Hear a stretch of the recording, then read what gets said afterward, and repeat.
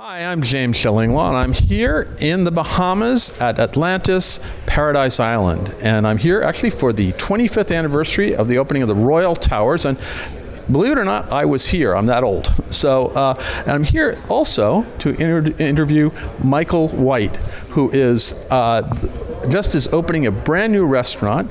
And what's that new restaurant? This restaurant is called Paranza, and we're at the Cove. We're at the Cove, which is one of the hotels here, and at Paranza. And tonight we're going to get a chance to sample uh, a little of that. And we're going to talk to Michael about this new restaurant and a whole lot more on Insider Travel Report.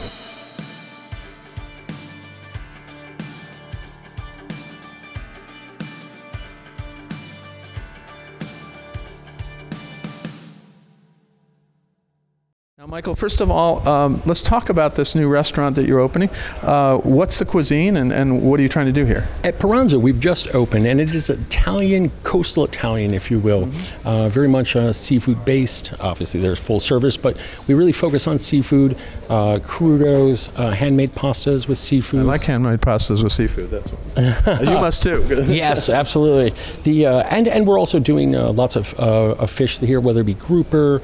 Uh, we're using Bahamian lobsters, you name it. Uh, but we're very very excited to be here, having a full service Italian restaurant focused on the cuisine of the coast of Italy. And also focused on sort of local specialties and fish as well, right? Definitely, definitely using property. You know, wherever we travel to, wherever we're working, we always use to. We like to use the product that is uh, closest to us, obviously for freshness and such. Uh, and it's a, it's uh, the abundance here and, and the beauty of the water and, and using grouper and lobsters, as I said, they're sea urchins, you name it. Yeah, Uh, so there's, there's a lot to it. I mean, it's amazing. We're looking forward to that. Now, why why did you decide this is a good place uh, to open a restaurant? this listen, Atlantis is really much the uh, the East Coast corridor, if you will, uh, for for guests. You know, whether it be New York, Boston, Long Island. Uh, I mean, all over the United States, but really that's a basis of customer, and that's really the customer that uh, is. Uh, uh, in New York and knows, and so it was a natural really to be here at Atlantis and, and do seafood here.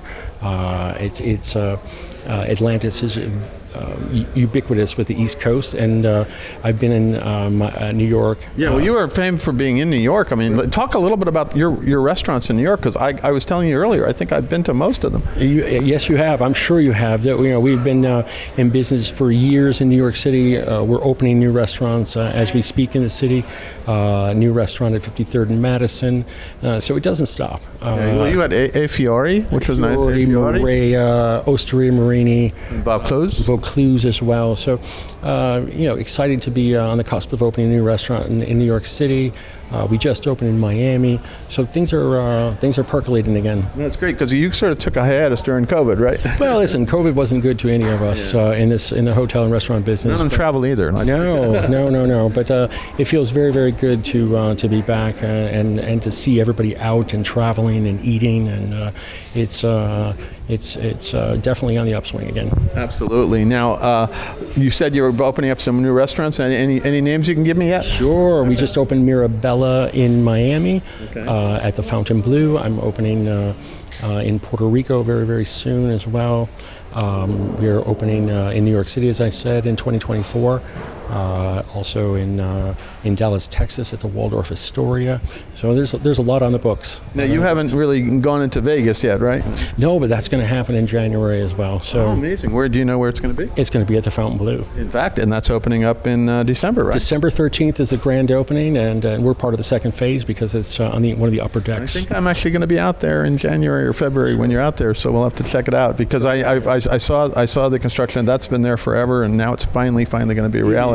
It's really unbelievable the uh, the grand scale, 63 stories. Uh, it's it's really something. Well, you're, you're in grand scale here in uh, Atlantis and at the Cove, and you're going to be grand scale at the Fontainebleau. So you're, you're opening in some pretty impressive places. I'm very fortunate. I don't take it for granted. That's for sure. Now, what do you think about the 25th anniversary here?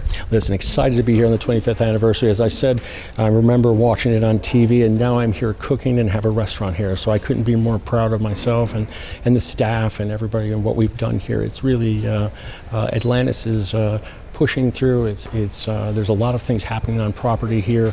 Uh, with new chefs and new uh, locations, so And there are a number of really named chefs down here, right? Yes, you know, Jose Andres is here, uh, Nobu, Alon Shaya, Uh, so there's really a lot of Again, things. all these these names that, that I know as well and you know as well. It's really impressive that it's down here. Now we go out to about 127,000 travel advisors out there who are sending their clients here, and they're going to say, "Hey, you got to book this restaurant, right?" That's right. I'd love to. All the 127,000 people, I can't wait to see them here at their restaurant. Well, they got to come here and try it first for their clients, and then they can recommend it. But I'm sure that's not going to be a problem. Again, thank you for your time. I'm looking forward to, to, to eat the, the dinner tonight, uh, and looking forward to, maybe maybe in January or February when you open up in uh, Fontainebleau in Vegas. It'll be looking forward to seeing that. I'm ready for you. I'm ready for you. Thank you, sir. Appreciate it.